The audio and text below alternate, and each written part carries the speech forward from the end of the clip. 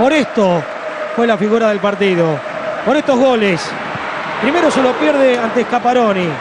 Después va a venir ante la intervención de Erramuspe y Martínez. El centro rasante. Y se juega el alma y la vida. Allí por abajo. Guanchope Ávila. Toranzo. Entre los dos centrales. El pelotazo. La pica por arriba de la salida de Scaparoni. El segundo de Huracán y de Guanchope. El sello, la frutillita. Mancinelli que lo habilita nuevamente entre los dos centrales a Guanchope que esta vez la pica pero por el costado de Scaparoni para poner las cosas 3 a 0 y ya a esa altura inalcanzable el resultado para Independiente Rivadavia.